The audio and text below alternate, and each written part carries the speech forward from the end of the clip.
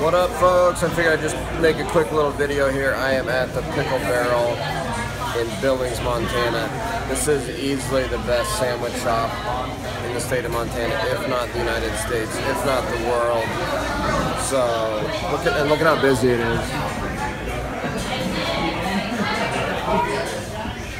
It's actually fairly busy right now, but um, you know, the Pickle Barrel does so many good things. They have a they have this sandwich called the Ken Special. It has salami, turkey, ham, Monterey Jack cheese, Swiss cheese, um, and then all kinds of like vegetables and sauces and mayo and mustard. It's so good, and I just bought myself one, so I'm super stoked.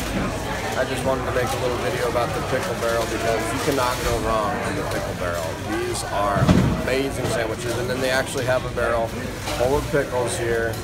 Um, so yeah, I also just wanted to do a little like test about this camera and, and see how it works on YouTube, and I might start doing more of these like quick make a video, immediately upload it to YouTube as opposed to, you know, spending weeks and weeks editing like these adventure vlogs and paying money for other people to edit them or editing them myself and um, just spending all kinds of time. Whereas I could just quickly do this video, upload it to YouTube. Let me know if you guys like it. Peace.